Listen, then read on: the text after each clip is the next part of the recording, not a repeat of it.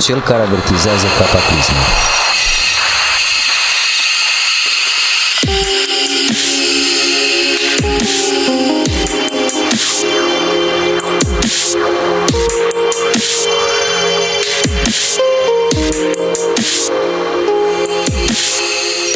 De fiecare dată când se trezea fata cea singuratică din casta albă, se ducea să se uite în lac. Și dacă vestitorul era acolo și se lăsa privit, ea interpreta semnul de bun augur. Iar dacă vestitorul lipsea de la neașteptata întâlnire, fata era tristă. Era tristă că spiritul o ocolea toată ziua.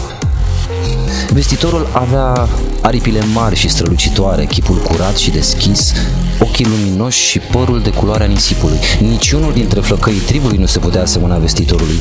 Nici măcar tinerii pe care îi cunoscuse pe continent nu se puteau asemăna cu el. Cine poate fi asemenea vestitorului? Când era mică, își imaginea uneori că divinul personaj sau zeu, cine poate ști, este un tânăr de pe continent. Și de aceea rămăsese foarte dezamăgită când, în urma contactului cu orașele, descoperise că aceia care erau meniți ai fi profesor nu cunoșteau nimic despre vestitor, luând în râs încercările ei de a se edifica în privința lui. Continentalii erau niște sălbatici, și fata se întorsese mult mai repede acasă unde se debarasase de stupidul veșmânt ce fusese nevoită să-l poarte printre străini. Se tatuase cu culorile dragostei, își pusese în păr și pe piept ghirlande de flori frumos mirositoare și reîncepuse interpretarea auspiciilor prin prezența sau lipsa vestitorului la întâlnirile matinale. Sub apa clară, acționând ca o lupă, îl putea urmări în activitățile lui grațioase și se simțea fericită. Odată cu trecerea anilor își construise o ipoteză proprie pe care mii de semne mărunte îi păreau a o confirma. Vestitorul era un călător din altă lume. Tatăl ei, ultimul descendent din casa pură, îi spusese adesea că vestitorul nu se arată tuturora și că în timpuri imemoriale se înrudise cu familia lor și că li se arăta deseori fetelor din neamul lor, doar că de mai multe generații nu mai proceda așa. Și fiii și fiicele lui pe acest pământ care alcătuiseră cândva casta pură, se stingeau acum prin el. De ce nu mai ieșea vestitorul să se distreze de sărbători cu fetele care îi aruncau cununile de flori în apă?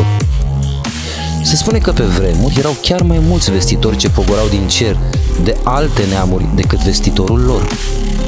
Ei le căutau băștinașilor prietenia cu bunăvoință, dar de câte ori autohtonii îi duceau să le arate vestitorul lor, străinii îi părăseau în grabă fără să le mai spună nimic.